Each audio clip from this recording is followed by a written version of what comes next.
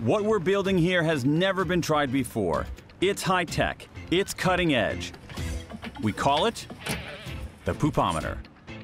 Our poopometer here measures the temperature of your dog's poop when you put it in and then displays it on this light up gauge. So the faster you get your dog's deposit in here, the higher your score will be on the poopometer. Oh my God! Is it a contest? This machine has turned poop disposal into a game. Of course, half the fun is working out how it works. And what does it say? Temperature. Oh, that's cute. Oh. You think that's real? Glacial. Glacial. So people are looking at it, they're a little bit wary, they're not sure what it's about.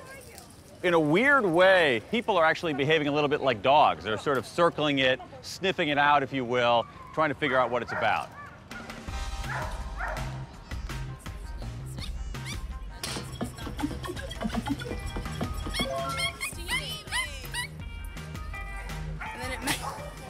Ma- That's really funny. He's burning. it says 95.4 degrees. Damn right. Good job, Jay. Nikki, do poop. Uh, I really think the interest is building here a little bit. And you don't see interest building around dog poop all that often. 95. It really is. Give the number up there. burning. Burning.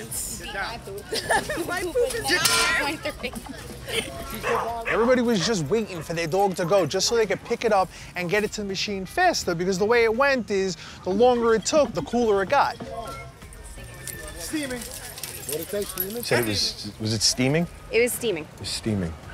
I was very proud of him. I think making anything a competition makes it a little bit more interesting.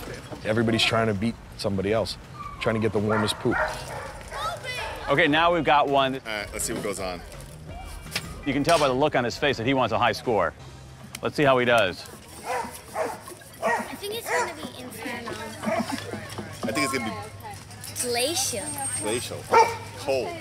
Oh, he didn't do that well. He's a little disappointed. He's gonna have to wait for his dog to do another deposit, I guess.